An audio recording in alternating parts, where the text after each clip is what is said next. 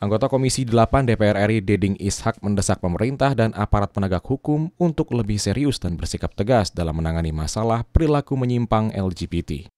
Hal ini menyusul kasus-kasus melanggar hukum yang marak terjadi akhir-akhir ini dan dilakukan oleh beberapa kelompok LGBT.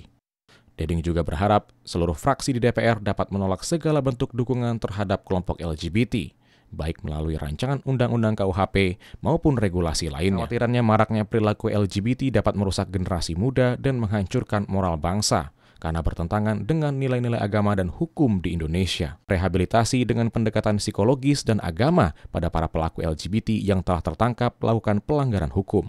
Semua pihak, termasuk pemerintah harus tegas, karena di Tenggarai bahkan bisa dibuktikan mereka juga didanai dengan triliunan rupiah dari negara-negara pendonor yang sengaja ingin merusak bangsa kita.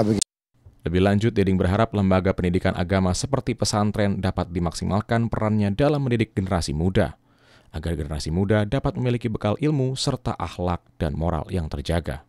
Deding juga mengimbau para orang tua untuk dapat lebih memberi perhatian kepada anak-anaknya, mulai dari perilaku hingga pergaulan sehari-hari. Dari upaya mereka untuk mengajak ya mengajak anak-anak kita untuk melakukan praktek seperti itu. Yang memang tadinya tidak melakukan, tetapi mungkin dengan iming-iming ya uang ataupun mungkin nanti bahkan yang sudah ditenggerai juga.